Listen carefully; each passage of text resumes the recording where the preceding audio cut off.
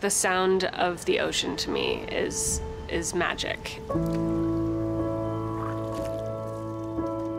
You know, I'm so used to hearing traffic and sirens, and I think sometimes the creativity in my mind flourishes when there's when there's nothingness.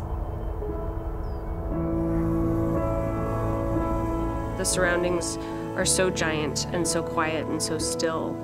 As beautiful and majestic as the scenery is, things as simple as water and air to me have have felt really purifying. It's a very different experience than than going sightseeing.